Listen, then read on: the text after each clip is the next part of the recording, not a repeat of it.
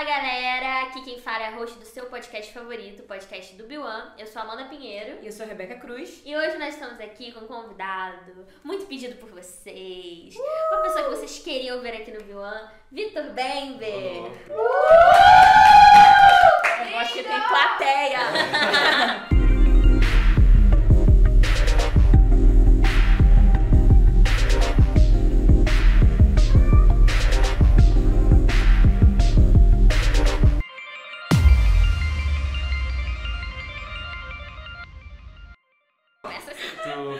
aqui com vocês, de verdade. É uma honra estar aqui. Não sei se quem está ouvindo estava no culto, mas foi muito bom. É, provavelmente vai estar. e se você não estava, procura no YouTube, YouTube. do Biwan. É. Você vai amar.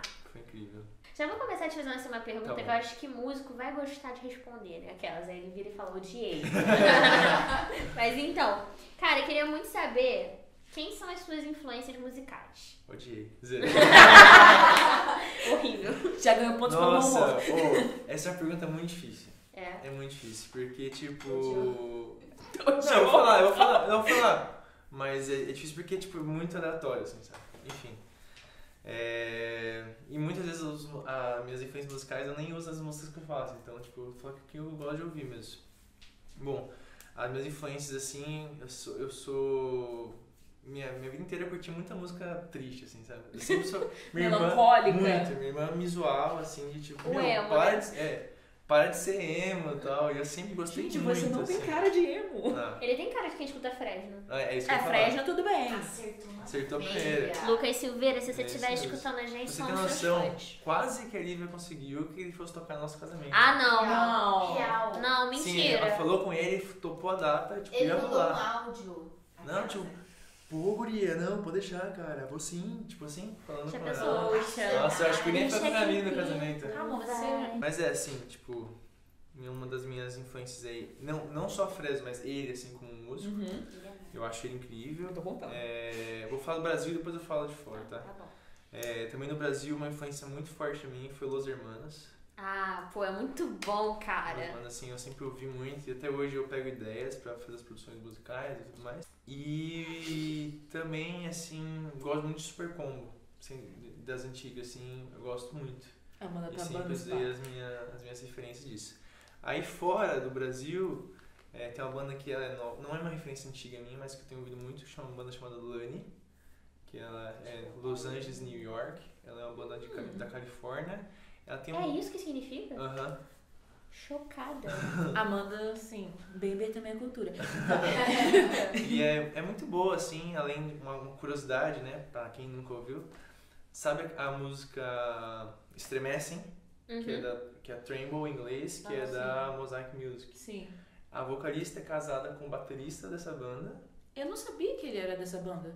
Aquela. Eu Quem conheço a canta essa Mariah. música é a Mariah? É É, a Mariah. Mariah McMahon. ela é casada com um baterista e eles são três amigos ali. Eu, eu acho que ele é um crente enrustido, assim, que fez uma música do CD novo, que tipo, eu queria falar com Jesus, ainda fala com Jesus, mas eu faço minhas merdas, tipo assim. Mas assim, musicalmente falando, assim, eu amo muito os caras, acho muito bom, muito criativo. É, bom, de pequena, Hillsong United pra mim foi a prime- primeira referência, eu sempre quis ser igual ao Joe. Meu Ah, meu quem sonho- Acho que Nunca. todo mundo. Quem nunca? Meu todo sonho mundo. era ser igual ao Joe, eu traduzia as músicas Gente, e tudo tem mais. Todo ministro de louvor queria ser o Joe lá. É. Ah, Hum? aquela banda nova, Caramba. Gable. Ah, verdade, tem uma banda muito boa. Já me falaram dessa Muito banda. boa, que é, é os pessoal da Bethel. Não, não sei se você que fez Bethel, né? Uhum. Mas é o David Funk, sabe? O ministro. Ai, sei. Ele é baixista dessa banda. Ele não Nossa. canta, ele é baixista Nossa, mas ele canta toda hora também na, na igreja. É. Ele deveria, tipo... Aham. Ainda- E chama Gable and Price. Gable Price é, and tô com Friends. som. Gable Price, que é o nome do cara, em Friends. E é Que muito boa, legal, é gente. muito boa, assim. Mas eu tô aqui, né? É, obrigado. E é muito, muito ele tá boa, com assim. sono, vamos e considerar. toda. A gente tá gravando esse podcast 1h19 da É. manhã. Então, Releve. E é muito bom, gosto muito, enfim. É muita referência que eu posso. É uma coisa de um, mas as últimas que eu tenho ouvido são esses caras, Uhum. esses três americanos e três. Eu jurava que você ia falar Coldplay. Não. Verdade, muito. É que assim, A cara de quem escuta Coldplay. verdade, eu ouvi muito, já foi muito uma influência, mas ultimamente não tem sido tanto. Os últimos CDs já não gostei tanto. É, Eu parei muito no. Live Technicolor. É, no outro, no Ghost Stories foi depois, né? Foi antes. Eu acho que foi depois. Foi Discografia. É. É, eu parei no Ghost Stories. Pra mim foi o último que eu gostei. Esses outros eu achei muito festa, assim. E eu, É. como eu gosto de música melancólica, É aquela pergunta, você é do tipo de música que quando, tipo, sofre alguma coisa, tá escrevendo música, tipo... "Ah". eu chorava muito. Antigamente, antigamente. Antigamente, Glória agora não mais, né? restaurou. Exatamente. Tem Camille na vida dele. Exatamente. Briguei com a Camila, escreveu uma música. Deus, por que essa mulher me trata desse jeito? É, qual foi um, um dos momentos, pode ser esse difícil ou um momento marcante na sua vida, que acabou gerando uma música pra você? Tá. Que foi, tipo, uau, eu vou escrever isso, deixar eternizado Tá. É, acho que o momento mais marcante, assim, pra mim, em relação a escrever músicas, foi quando eu escrevi a Jamais Posso Viver Sem Você, que é Tu És Lindo, Jesus. Por quê? Eu tava vendo um processo muito grande na minha vida, assim, eu tava, tipo, realmente, ministerialmente, eu tinha decidido sair de uma banda que eu, tava, que eu fazia parte, que, tipo, eu escrevi, tinha cinco músicas minhas na banda, e eu tinha, a gente tinha investido, sei lá, muito dinheiro, banda certo, e feito um monte de coisa legal, só que não era tempo de Deus. E aí brigamos, e entre os músicos a gente brigou, os amigos brigamos, e eu também, na mesma época, eu tava com- começando a conhecer a vida com o Espírito Santo, eles não concordavam, tipo, ao ponto de eu querer Jesus, eles quererem bebida e tudo, tudo bem pra eles beber, enfim. E, e aí nisso eu decidi sair da banda. Saí, então larguei o meu sonho, larguei, e eu senti Deus falando assim, tipo, cara, vai faz o teu, tipo, faz o teu mesmo. E aí eu lembro que eu cheguei com uns amigos e falei assim, cara, vocês acham zoado, tipo, fazer um projeto solo, assim? E aí os meus amigos, não, cara, é da hora, tamo junto, eu apo- apoio você, vamos fazer e tal. Eu falei, beleza. Aí nisso aí eu tava com uma frase na cabeça, que é quem sou eu para que eu possa falar sobre quem tu és. Essa frase tava há semanas na minha cabeça. E é boa essa frase. E aí eu peguei o violão assim, foi, peguei o violão e eu fiz as notas, escrevi. Aí eu vim essa frase, né? Jamais posso viver sem você. Eu não posso viver sem você. Já... Esqueci a letra, mas tudo bem. Ouvem depois. Caso de qualquer música, escreve a própria- esquece a própria letra. E aí, beleza. Aí nisso aí eu continuei fazendo a letra, escrevi na hora e, e veio o refrão. Fiz, né? O refrão e Uhum. tal. Acabei, assim. E aí eu comecei a chorar. Falei, cara, que, que louco. Tipo assim, fiquei admirado com o que saiu. E foi muito legal, porque nisso aí, ó, é, faz um. Já faz, foi 2016. Faz quatro anos, quase cinco anos daqui a pouco. Aí, beleza. Nisso aí eu lembro que eu falei, peguei o violão e fui mostrar pra Lívia. Aí ela sentou na escala de casa, eu comecei a cantar, lembro que ela começou a chorar também. Oh. Foi, Ai, que bonitinho. Momento, irmãos. foi muito legal. E aí, depois disso, eu lembro que assim, eu, realmente, a minha intenção era gravar música pra chegar no sábado e a galera da igreja poder cantar. Era a minha intenção.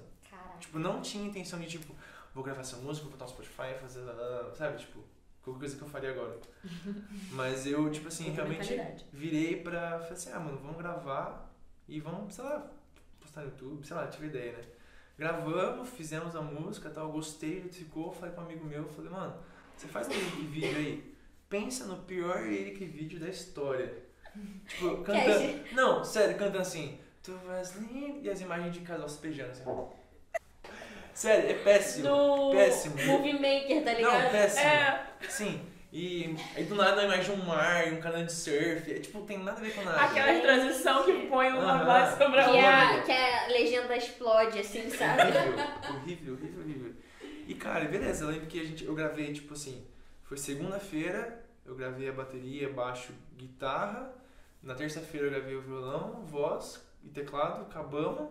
Na quarta-feira ele fez correndo, né? Por isso essa beleza, né? Postamos na quarta-feira de noite. Foi em novembro isso aí. E aí eu lembro que no, no sábado, eu, beleza, ensaiamos com a banda e tal. Vamos tocar, a gente tocamos algumas músicas, foi tocar. Comecei, quem sou eu? A igreja inteira cantou. E eu lembro que eu olhei assim, tipo, cara, Como mano, assim? O que, que aconteceu? o que, né? que aconteceu? Literalmente, assim. E todo mundo cantando, e aí eu fiquei, tipo, sem reação, assim, sabe? Tipo, que louco.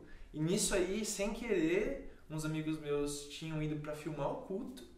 Ele pegou a ideia, filmou a música. Caraca. Filmou, filmou, filmou. Aí a gente acabou com ele falou, mano, vamos fazer um clipe. Aí eu falei, ah, vamos. Aí eu falei, não, demorou. Aí semana que vem a gente vem aqui de novo na igreja e faz outros takes. Eu falei, beleza. Resumo, a música tipo, começou a subir muito no YouTube. Aí eu tirei ela do ar, o lyric, obviamente. Lançamos um clipe. E o clipe foi assim, aí tipo, hoje no Spotify acho que tem 1 milhão e 300, 1 milhão, é 1 milhão e 300 plays, tipo assim, uma parada tipo que é surreal. Tipo, é muito certinho o tempo de Deus para as é. coisas, né? Como é que ele queria que você tivesse naquele momento, é. com o coração no lugar certo. É. Nossa, incrível. É muito louco. Mas e aí, falando ainda sobre isso, nesse papo ainda. Como é que é o seu processo de composição? Vem primeiro a melodia, a melodia, aquela que não sabe nada de, de nada. Vem a primeira letra, vem ou primeiro vem as lyrics, ou a melodia, ou vem tudo junto. É meio. Tipo, por exemplo, essa aí eu tava com a frase na cabeça. Eu lembro que é meu Jesus, eu, tipo, queria fazer uma música rápida. Então, tipo. E eu tinha esse. Esse. Você. Na, tinha isso só. E aí eu fiz o antes, fiz depois e foi, assim, tipo, não sei dizer. E a Sem Demora, eu lembro que tipo, foi a mesma coisa, assim, eu comecei a fazer é, o final. Depois que eu fiz o final, eu voltei pro início e foi construir, assim. Tipo, Deus deu o dom, né? Não importa meio que, tipo, não, eu não tenho uma regra, assim. Mesmo porque tipo, as outras que eu compus, que eu compus algumas ano passado, que foi escrever, eu comecei a escrever, depois eu coloquei a letra. Então, tipo, a, a, a melodia. A melodia, né? Então, tipo, meio que não tem uma regra. Vamos pra uma história engraçada. Vamos toda pessoa que você viaja muito para cantar nas igrejas ou em outros lugares. Essa eu quero ouvir. Você tem alguma história engraçada para contar pra gente que você vivenciou na estrada? Deve ter algumas. Tenho, tenho várias, mas tem uma que é trágica. Ai, conta, conta essa. essa. Essa que a gente quer ouvir. Trágica, trágica, trágica. Beleza. Você sabe o que eu vou falar, né? Tá bom. Beleza. Não usa nomes pra não Tá, não vou usar nomes. Beleza. Sábado de manhã, a gente ia ter o culto na nossa igreja. E aí eu também tinha uma agenda marcada e ia ser de tarde. Então tá tudo certo, a gente ia ensaiar de manhã, pegar o carro, ir pra agenda que era na praia, era, tipo, seria uma hora de viagem, a gente voltava, tudo certo. Beleza, então fomos lá, ensaiamos e tal, e aí eu fui eu, o guitarrista e o. Acho que. Acho que só lembro que tava no meu carro. Fomos, e fomos. E aí o resto da banda foram passar no Mac e, e foram. O crente gosta é, de um McDonald's, McDonald's né? Aqui é, também. Que é a única coisa que fica aberta de madrugada depois que você sai da igreja. É. é. e aí, beleza. Aí fomos embora e tal. Isso aí era tipo uma da tarde, mais ou menos. Suave. Não, era antes. Acho que era meio-dia, assim, mais ou menos. Beleza. Cheguei na, uma hora depois cheguei na igreja. Começamos a montar as coisas, né, tal. E aí eu virei assim, mano, cadê os caras, velho? cadê os caras? E aí eu peguei e liguei não, mandei mensagem no grupo. Mano, cadê vocês? Aí o menino respondeu, mano, estamos com um problema aqui. Aí eu falei, o que, aconteceu? Aí ele falou assim por mensagem, o mano, é que é o nome do cara, né? Em caps lock, assim. Meu, você não sabe, o mano cagou no carro! que coisa triste. Resumo, o McDonald's fez um efeito nele e aí, no meio, da, no meio da estrada, ele falou, tipo assim, era serra, não tinha onde parar, não tinha o que fazer. E uma vontade de gente falou assim, cara, segura aí, velho, segura aí que não tem o que fazer. Nisso aí, não aguentou, hum, no carro inteiro. Deu uma Ai. freada no carro. Calma. Diarreia, diarreia assim, sabe? De lavar o carro. Calma, não é pior. Beleza. Calma, não é pior. Fora aí, tudo bem. Não, é, até tudo bem real, beleza. Não pode piorar, porque pode. Pode, e muito. Se eu tiver um carro e vocês tiverem caganeira no meu carro, eu jogo pela janela. Não anda. Joga Mano, vocês da beleza. serra. Chegaram na igreja, né? Aí já fomos lá e... Vamos lá zoar ele. Você cagou no carro, né? Você cagou no carro, você no seu carro. Gente, zoando. ele pra sempre ficou marcado, tadinho. Aí, beleza. Nisso aí, aí a gente precisava entrar na igreja de novo. Aí ele, né, tipo, aí pra juntar era uma, tipo, uma conferência. Sabe a conferência? Yeah! Entrando assim, todo mundo, os staff, assim, tipo, bem-vindo, é, sabe? Tipo vocês hoje. É. Tipo salva-vidas. Aham. Nisso aí que o cara precisava entrar, ele precisava ir no banheiro pra tentar Meu fazer uma Deus, coisa. Não Nisso tiveram aí, a noção de passa... cobrir ele, não. Aí ele fez tipo assim, ele, oi, oi, oi. Nisso que ele passou pela primeira pessoa, ele foi andando de costas, assim, ó, dando tchau, assim. Tadinho. Gente, coitado. Calma, calma, tem mais. Aí beleza. Nisso ele foi no banheiro. E aí o guitarrista falou, ele falou assim, mano, tem uns shorts. Tipo, ah, beleza, ele vai tocar de shorts. Não, não, o mano não tocava, ele era o técnico de som. Ah, tá, menos, menos, menos mal. Beleza, isso aí eu lembro que eu entrei no banheiro, tava a calça dele pendurada. calça jeans assim, pendurada. Beleza, aí eu falei pro mano, não, dá o shorts pra ele. Ele falou, não, vou dar, vou pegar o carro lá e tal, beleza. Resumo, depois de um tempo, assim, uns minutos, eu tava conversando com o pastor da igreja, que me chamou, né, trocando uhum. ideia. Do nada, ele encosta do meu lado e começa a participar do assunto. E o cheiro, assim, ó, de Mano. merda. o cheiro de merda, assim, E velho. todo mundo disfarçando. E todo mundo disfarçando, e o pastor falando, eu...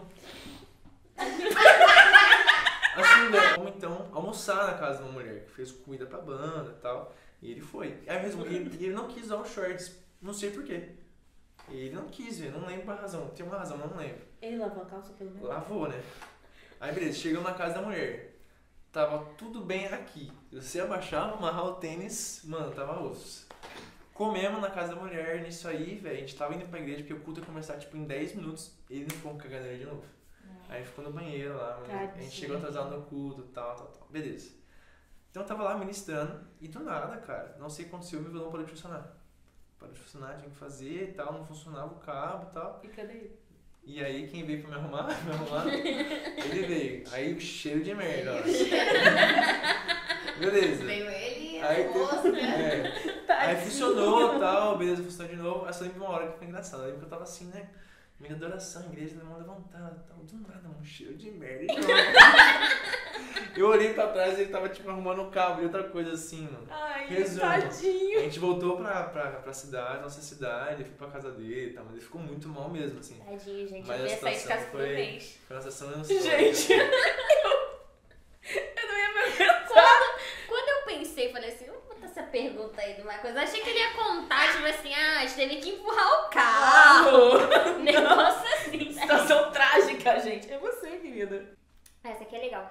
Em qual momento que você descobriu assim, cara, eu acho que eu sou bom nessa parada de música, ou então eu acho que eu sei me comunicar através disso, acho que Deus pode me usar aqui. Qual foi esse momento? Ou esse momento nunca existiu? Né? Tem gente que é bem. É, eu acho que, tipo, realmente, tipo assim, eu lembro que eu sempre gostei de música desde pequena.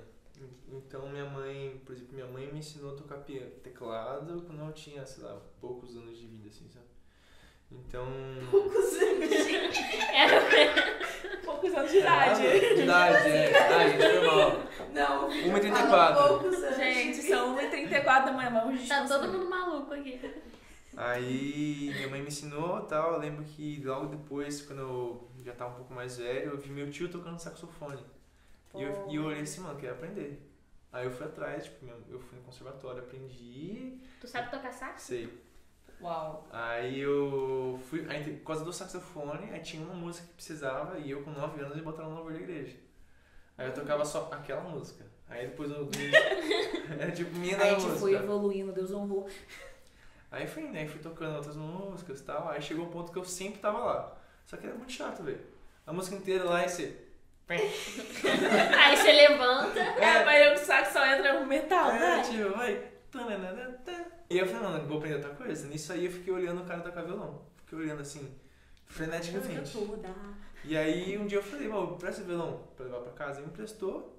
Aí eu lembro que eu abri o, o Cifra Clube assim, eu olhei assim como fazia.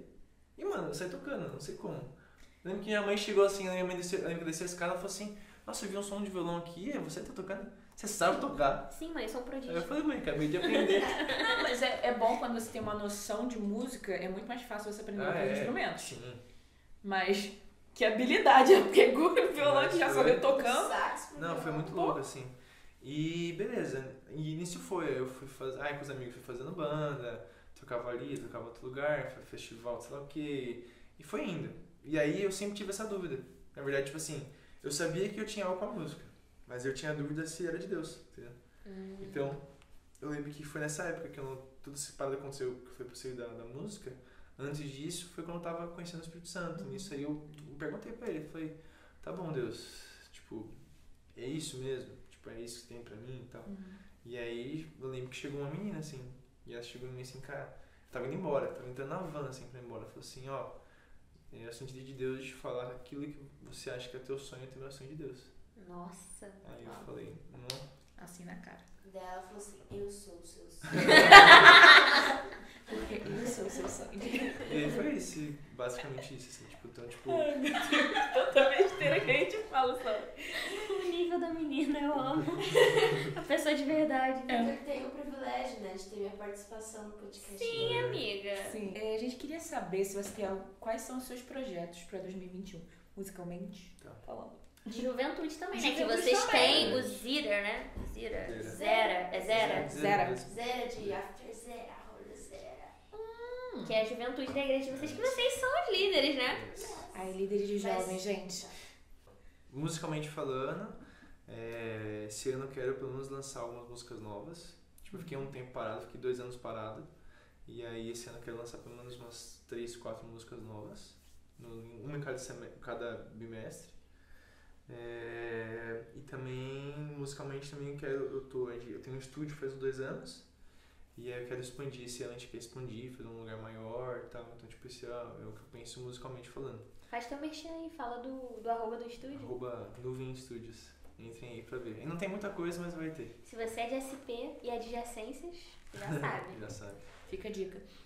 E, bom, na igreja, então musicalmente é isso. Na igreja a gente ah, eu vou continuar focando muito assim em relação à formação de novos líderes e tudo mais com a igreja. É, eu quero também trabalhar muito com a equipe de louvor nossa. Eu sinto que tem algumas coisas que a gente precisa. é que eu ouvido. dar uma melhorada e tudo mais, mas como todo lugar. E é isso, assim. Acho que planos para 2021, assim, são os nossos maiores planos, assim, em relação a isso. Empolgados com as novidades. E podcast, né, gente? E podcast. Dali podcast. Gravação toda segunda e postaremos todas as quartas, tá definido. Vou cobrar. e a nossa última pergunta sobre isso. Como é gravar um podcast com a sua esposa? Camille. Vai, Camille, fala. Pode vir a voz além. Dá licença que eu sou o entrevistado, tá? Isso porque eles têm um podcast juntos. É igual no podcast, Camille fala, fala, fala. Aí o bem vai falar, ela fala, amor. É. Pode falar. Não, vou, vou, vou falar aqui. Vai, Não, é muito legal gravar podcast. Mas às vezes eu sinto que a Camila é meio ciumenta com o podcast, entendeu? Expose. Ela, ela fala, tipo, muito. Ok, ok. Ela fala, fala, fala, fala, fala. Aí eu falo, ela fala, fala, fala, fala, fala, eu falo. Porque mulheres têm uma facilidade muito maior de se expressar. É, mas eu já abri mão já. Eu entendi que minha, minha, minha participação no podcast é sim. Mas é brincadeira. Gente, por favor, gente. Brincadeira. Ah, se você escutar, você vai saber que isso não é verdade. Não é verdade. Mas não. o último episódio que vocês lançaram. bastante. Qual, qual foi o nome? Esqueci. Foi Entendendo os Planos de Deus. Isso. Nossa, você falou muita coisa assim, pontual. Fala mesmo. Não, eu tô brincando. Porque eu ficava assim, fala. Não, você falou muita coisa pontual, assim. Não, foi mesmo. É, é, estou zoando, assim, mas agora de verdade. A sua voz também é importante. Você tem o seu lugar de fala. Obrigado, obrigado, obrigado. É muito legal porque a gente, tipo assim, não sei se as pessoas acham que a gente, tipo, pensa que a gente vai falar. A gente nunca pensa que a gente vai falar. E a, e a Camila é responsável pelo assunto. Eu sou responsável por gravar, ela é responsável por trazer a pauta. Então, antes de gravar, qual que é a pauta? Ah, é isso? Tá bom, então, beleza, começa. E vai, entendeu? Então, tipo, grava e vai. E quase não tem corte, né? Não tem corte. Não tem corte? Não perco tempo. Meu sonho. Eu não perco Meu tempo. sonho. Eu não perco tempo sem. Eu, assim, só se a gente falar uma coisa que não pode, aí eu corto. Mas é raro, muito raro. Fala, Camila. Inclusive, a gente teve um hiato aí de gravação, porque é, eu tava, assim, tipo, escolhendo muito de, muitos temas, assim, meio polêmicos. polêmicos. Daí o último foi, tipo, divórcio, né, amor? Não lembro. A gente tava falando sobre, tipo, posicionamento sobre divórcio e tal. A gente tava respondendo perguntas que a gente recebeu no Instagram. Uhum.